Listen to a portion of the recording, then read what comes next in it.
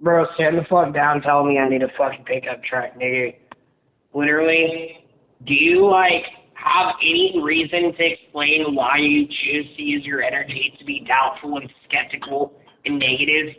To say, oh, but you can't do it with your car.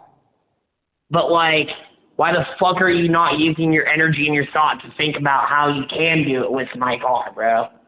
Literally.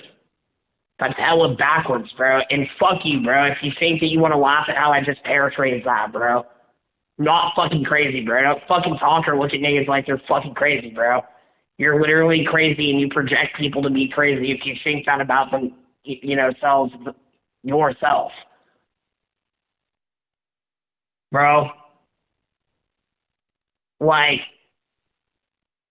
you know, kind of like that one time that you came to my house hella high on Molly, bro, in the middle of the fucking night, dog, and you kind of like woke me up and shit, nigga, at like 7 o'clock in the fucking morning, dog. Like, I could say I'm still not feeling that, bro, because you were the only homie that came to my house hella high on fucking Molly, dog, and in fact, actually, you didn't even have any weed, nigga. I literally smoked out the rest of my fucking kush with you, nigga.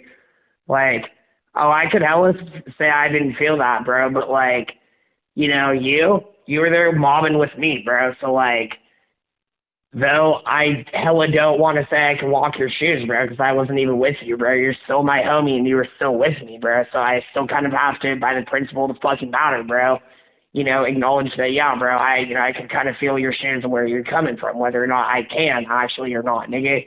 So like, bro, if you're legitimately sitting over there only going to the void all energy like Owen did for some honest, you know, really frustrating instances where I like was legitimately talking to him about like, you know, work.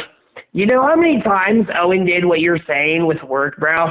You know how doubtful and pessimistic and like straight up fucking parasitic it is for you to like legitimately only tell me that I can't do what I have without the means of what I have now, bro.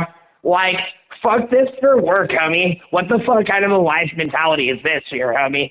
Like, I'm not even being a bitch nigga over here saying this is anything about you, bro, but I'm saying that this will create something about you, bro, and this, like, I see in a lot of my other homies, bro. Again, this is part of the, uh, the reason for why Owen is dead, bro, because instead of trying to find a way that you can have shit work, instead of actually having shit be functional, bro, now, nigga, I'm not an asshole, bro. I'm not gonna say it's on you, bro, but nigga, it's definitely on like what gets taught to all of us in society here, dog, in America, which is why, like, you know, our TV and our show.